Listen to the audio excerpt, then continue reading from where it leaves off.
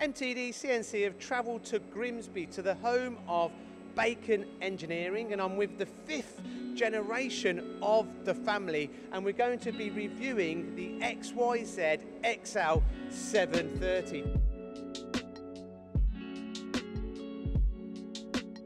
David, thank you very much for having MTD CNC on site today. No, pleasure, great to have you here. Now, David, this is a beast of a machine. It's not your first XYZ uh, purchase. Um, so firstly, why, why, are you using XYZ as your machine tool partner?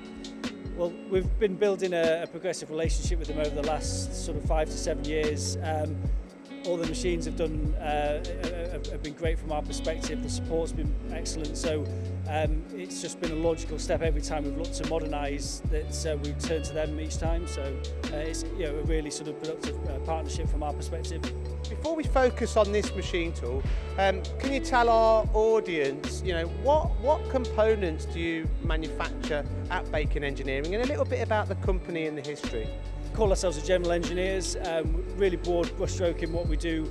Um, so on the machining side, anything from batches of components um, through to something that would fit on this machine, which would be like a five meter shaft, uh, a lot of stuff in the, in the packaging industry, um, chemical industry, etc. So we've got a really broad portfolio of customers uh, and you know the, and then the, the, the, the products we produce you know, fit into that breadth as well. So um, it's, no two days tend to be the same Sectors?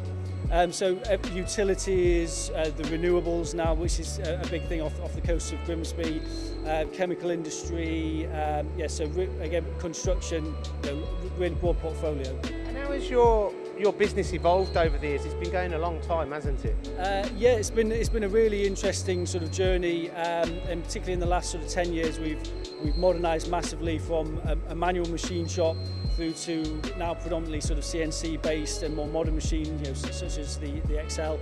Um, so it's been uh, it's been a progressive journey, and I think we really now sit as a modern company in the 21st century. Whereas if you visited us 10 years ago, a slightly different, uh, slightly different business we had then. So let's focus on the XL now, then, David. Why or what were your considerations when purchasing this machine from XYZ from a business perspective?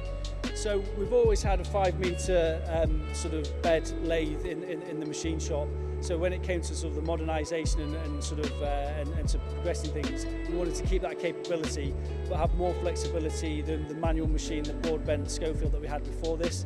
So the, the XL730, it does the, the scale, but also we can use it as along with the, the, the other sort of what I call the workhorses of, of, the, um, of our suite of machines to do sort of uh, to, to do smaller scale work as well. So it's great because it offers far more flexibility than, than the machine it replaced. Flexibility is one of the key features from um, this purchase that I can gather. But what about some of the other key features such as um, repeatability and accuracy? Are you seeing improvements in this arena too? It, it's, it's another level from you know, uh, our, our old um, board bent did the job, but you know, as far as tolerances and accuracies, you know, this is just streets ahead and the repeatability, uh, again, well, that wasn't uh, uh, a, fa a factor with the broad bench here, that was very much for bespoke one-offs. So the, the, the quality of work we can produce on this is, is a game changer um, from our perspective, you know, really sort of streets ahead.